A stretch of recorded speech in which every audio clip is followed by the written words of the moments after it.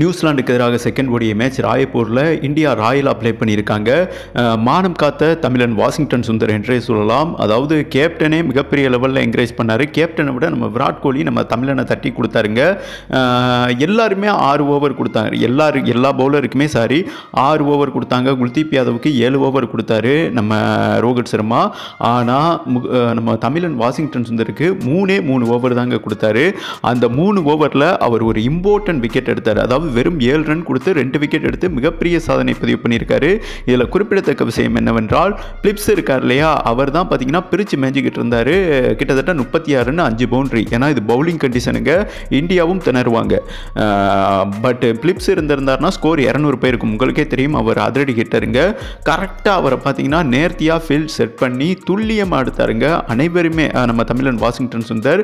அதுக்கப்புறம் தான் நியூசிலாந்து பார்த்தீங்கன்னா டப்பு டப்பு டப்பு டப்புன்னு அவுட் ஆகிட்டு சோலி முடிஞ்சுன்னு நூற்றி எட்டு ரனில் அதாவது முதன் முறையாக ஓடிய சீரீஸில் நியூசிலாண்டை குறைந்த ஸ்கோரில் ஆல் அவுட் பண்ணுவது இதுவே முதல் முறைங்க இந்தியா நூற்றி எட்டு ரனில் ஆல் அவுட் பண்ணி மிகப்பெரிய ஹிஸ்ட்ரி பண்ணியிருக்காங்க. அதாவது ஐம்பது ஓவரே கம்ப்ளீட் ஆகலை. முப்பத்தி நாலு ஓவரில் வந்துட்டு சோழி கேபிச்சிக்காக பண்ணிட்டாங்க.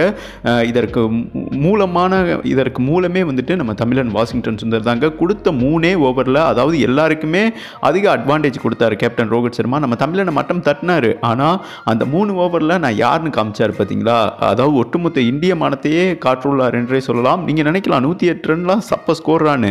ஆனால் இது ராயப்பூர் வந்துட்டு பவுலிங் கண்டிஷனுங்க இந்த கண்டிஷனில் ஒரு இரநூறு ரன் அடித்தாலே சேஸ் பண்ணுறது கொஞ்சம் டைட்டு தான். ஆனாலுமே இந்தியா இந்திய கண்டிஷனில் செம்ம ஃபார்மில் இருக்காங்கன்னு வைங்களேன். சேம் டைம் நியூசிலாந்து டீமுக்கு மிகப்பெரிய மைனஸ் என்னென்னா ட்ரெண்ட் போல்ட் கிடையாது. அதே மாதிரி சவுதி கிடையாது. அதனால சரிச்சிடலான்னு வைங்களேன்.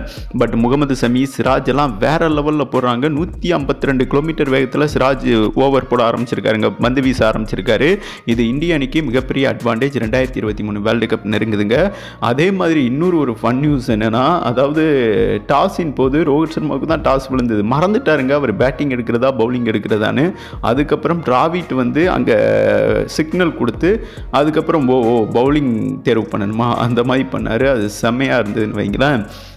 தமிழனை மட்டன் தட்டினாலும் இன்றைக்கி தமிழன் கொடுத்த மூணே ஓவரில் இந்திய மானத்தை காற்றுள்ளார் என்றே சொல்லலாங்க.